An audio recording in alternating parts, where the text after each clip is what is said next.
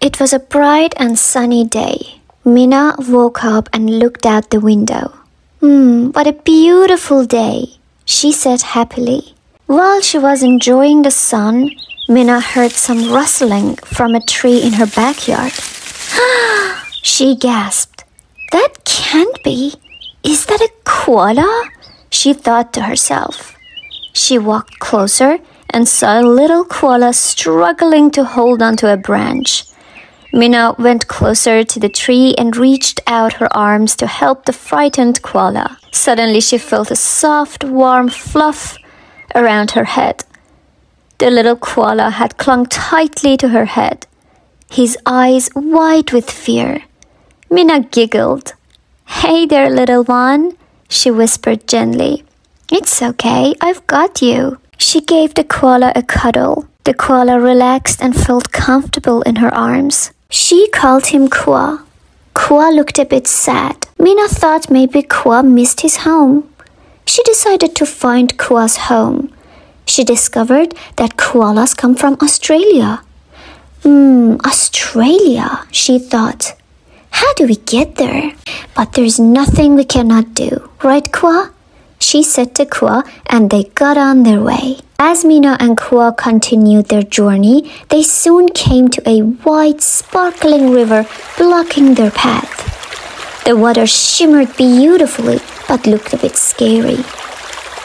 Minna stood at the riverbank, determined to find a way across. This is just a little problem, Koa.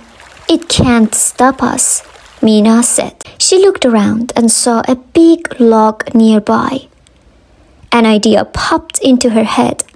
With Koa's help, she pushed the log into the river. They hopped on, and Minna started paddling with a strong stick. She looked at Koa and smiled. See, that was easy. We just need to trust ourselves and not be scared. We can do anything we set our mind to. By the time Minna and Koa reached the other side of the river, it was night time. They walked into a dark, dense forest. The trees stood tall and close together. As they walked deeper into the forest, pairs of glowing eyes peeked out from the darkness, watching them silently. Minna held Koa's paw tightly, feeling a little scared but staying brave. The forest was mysterious and a little spooky. As they walked through the dark forest, a firefly suddenly appeared and lit up their path. Minna and Koa decided to follow the firefly to see where it would lead them.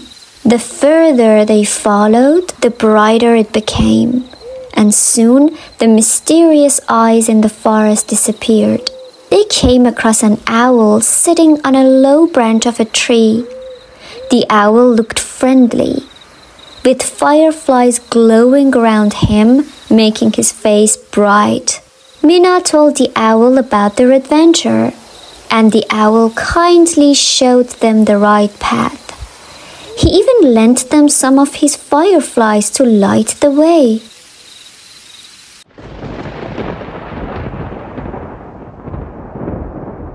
After following the path for a while, a loud thunder suddenly roared, scaring the fireflies away. Soon it started to pour down rain.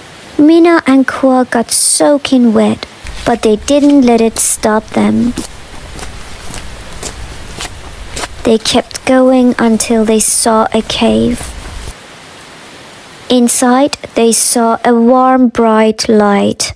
They were a bit unsure, but with no other choice, they decided to go in. The cave was cozy and welcoming. A friendly wombat was sitting peacefully by a small fire. The wombat smiled and invited Minna and Koa to sit by the fire to warm up. She even gave them some warm tea. As they sat by the fire, Minna told the wombat their story and asked for help. The wombat said, There is a shortcut at the back of this cave, but it's very twisty and wet. Don't worry though, if you keep looking straight ahead and don't let fear get into your head, you can make it through. Just remember your goal and keep going. Minna and Koa entered the twisty, windy, and wet pathway. Tree roots were tangled all around, covering the walls, ceiling, and ground. It was damp and little rats scurried around, but Minna and Koa remembered what the wombat had said.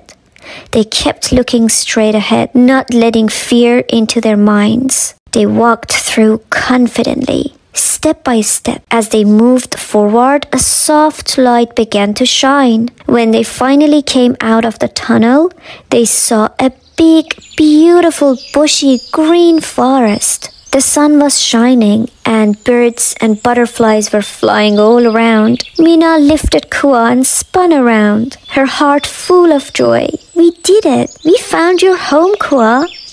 Minna said excitedly. Minna and Koa held hands and walked through the forest searching for the tree where Koa used to live. They passed by many tall, bushy trees. Suddenly, out of the blue, Koa stopped and stared at a burnt tree. He was shocked, just staring at what was once his home. Minna walked closer and looked at the tree. Was this your home, Koa? she asked softly. Koa nodded sadly. Minna hugged him tightly to comfort him.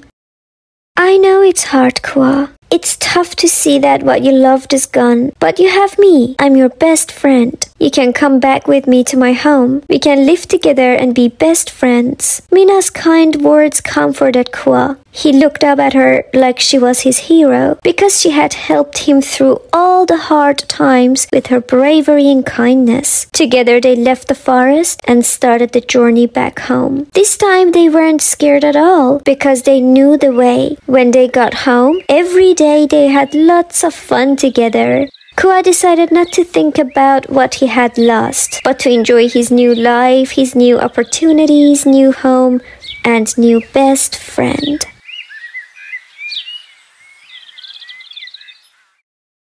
Have you ever felt scared or nervous about something?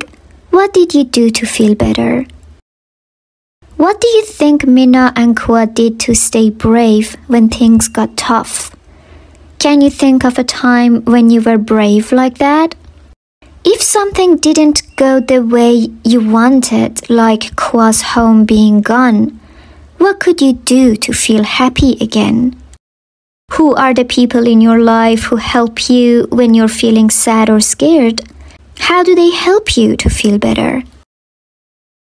Oh, by the way, don't forget to subscribe to Reading Gal.